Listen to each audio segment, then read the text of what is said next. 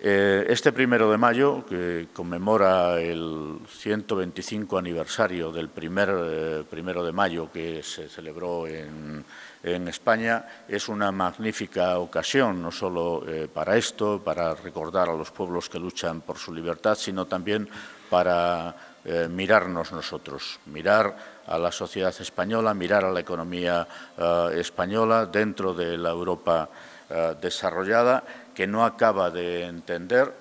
que eh, se hace necesario otro rumbo, otro rumbo distinto al de las políticas de austeridad que eh, han generado, están generando una tremenda desigualdad, una tremenda desigualdad entre países creciente con la crisis y entre las poblaciones dentro de cada uno de los países. Tal vez el, eh, el ejemplo más paradigmático sea el de Grecia.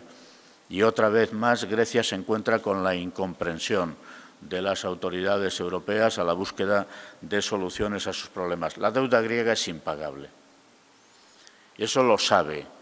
la Unión Europea, lo sabe el Consejo, lo sabe la Comisión, como lo saben los griegos.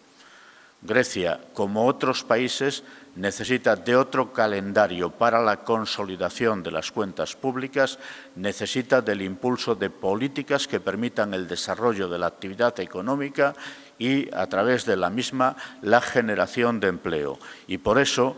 cobra hoy todavía más eh, importancia que cuando lo pusimos en marcha.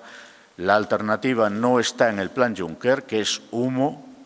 la alternativa está en el plan de inversiones propuesto por la Confederación Europea de Sindicatos. Vamos, por lo tanto, este primero de mayo a eh, reivindicar otras políticas que tengan como eje una eh, propuesta como la que los sindicatos europeos hemos puesto en escena, porque es la única alternativa viable, en nuestra opinión, para que economías gripadas, Hoy el Gobierno se felicita eh, porque la economía española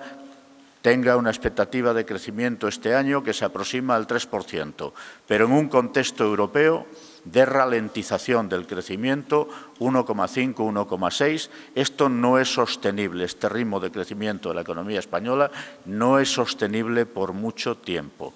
Y los propios eh, analistas que anticipan estos resultados para este año nos dicen que el año que viene habrá una nueva,